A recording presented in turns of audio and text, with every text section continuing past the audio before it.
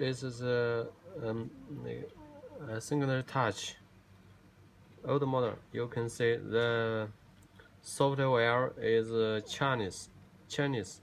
Now we will guide you how to change the language to English.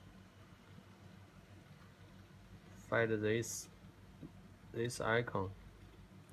Setting. And uh, then find this. Okay you will see the language? This is in Chinese. Now we clean it and fight the English. Yeah we can see the software is changed to English now. Okay that's all